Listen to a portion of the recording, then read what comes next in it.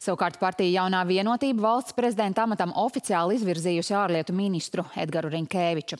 Viņa pārstāvētā partija uzsver, ka Rinkēvičam ir bijusi ilgadēja pieredze vadot valsts prezidenta kanclēju Valda Zatlera laikā. Turklāt Rinkēvičs ir viens no retajiem, kurš pēc darba ierēdniecībā nonākot politikā ir sevi spilgt parādījis. Rinkēviča galvenā prioritāte augstajā amatā būtu iekšējā un ārējā drošība, ņemot vērā Ukrainā notiekošo karu un mainīgo starptautisko vīdi. Svarīgi ir arī Latvijas ekonomikas attīstība un labklājība.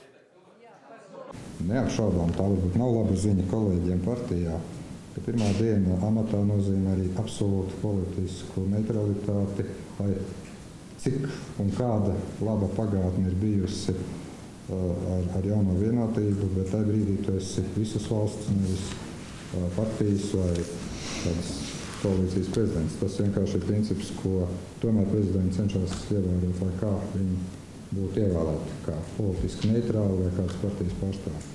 Jaunā vienotība tuvākajā laikā iecerējusi sākt sarunas ar partijām par atbalstu savam kandidātam. Atgādināšu, ka valsts prezidenta amatam līdz šim pieteikti trīs kandidāti.